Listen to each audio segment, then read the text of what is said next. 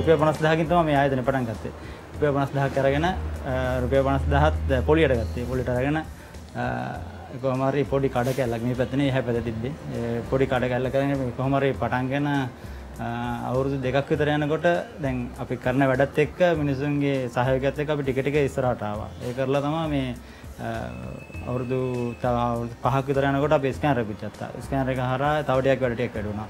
ඒත් එක තමයි මේ දැනට ඉස්සලාවේ හැබැයි ආත්ම විශ්වාසයත් එක්ක තමයි කියන්නේ අපේ තියෙන අපිට මේ දේ බෑ කියලා බෑ කියන්නේ මොන හරි කරන්න පටන් ගත්තොත් එහෙම කරලා බලන්න ඕන. කරලා බලලා තමයි එතනින් පස්සේ අනිත් එකට යන්න ඕන කියලා විශ්වාසයක් තියෙනවා මට. ඒ විශ්වාසයට තමයි මෙතනට මම ඇවිල්ලා තියෙන්නේ. මෙතන සේවක සාමාන්‍යයෙන් ඉන්නවා අපි හතර දෙනෙක් ඉන්නවා. ඊට අමතර රේල්ලත් පස් දෙනෙක් ඉන්නවා. එතකොට සාමාන්‍යයෙන් දවසට අපි වාහන 15ක් 20ක් විතර කරනවා.